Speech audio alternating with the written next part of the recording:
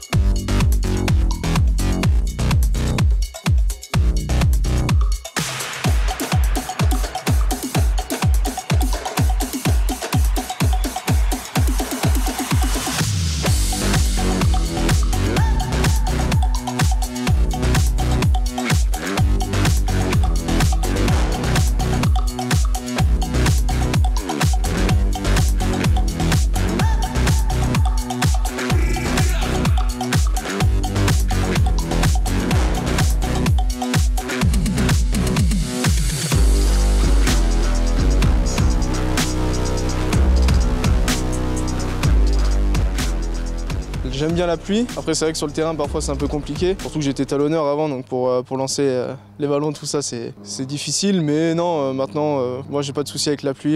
J'aime bien ça. Bah, alors, moi, j'ai commencé le rugby à l'âge de 5 ans à l'USB à Bergerac. J'ai passé 4 ans là-bas. Mes parents déménagé à La Rochelle. Du coup, j'ai passé 10 ans à jouer à La Rochelle jusqu'à à peu près en moins de 18. Les trois dernières années où j'étais à La Rochelle, j'ai voulu en même temps au pôle espoir de, de Tours. Et du coup, après le, après le pôle, je suis parti à, à Castres pendant 3 ans où j'ai intégré centre de formation directement. Du coup, j'ai fait centre de formation pendant trois ans. Et à la suite de ça, je suis parti un an à Aubenas, euh, du coup, l'an dernier. Et maintenant, je suis ici. J'avais plusieurs options qui s'offraient à moi. Moi, j'ai décidé sur la rugby parce que euh, j'ai longuement discuté avec, euh, avec Dom, avec Stéphane. Je pense avoir fait le bon choix. On verra, on verra après le, début de la saison. Alors, avec mes équipes précédentes, j'ai pas forcément de, de, meilleurs souvenirs, mais comme je disais précédemment, j'ai passé trois ans, trois ans à Tours. Tous les moments que j'ai passé là-bas, les trois années, ça fut trois années, trois années exceptionnelles. Je pense que l'ensemble de ces trois années constitue un, un souvenir à part entière. Ça faisait pas mal de temps que je jouais talonneur, j'ai toujours eu plus ou moins l'envie de jouer pilier parce que c'est un poste qui me plaît. J'ai envie de me concentrer uniquement sur, mon rugby, donner un maximum, euh, m'investir à 100% sur le rugby. Disons que ça me dérange pas de jouer talonneur, mais euh, j'aime bien avoir euh, uniquement la tête à, jouer au rugby. Quoi. Sur le terrain, je dirais ce serait peut-être... J'essaie de toujours être un maximum agressif, jamais, jamais rien lâcher. je pense qu'après ça peut sûrement se ressentir au quotidien, mais,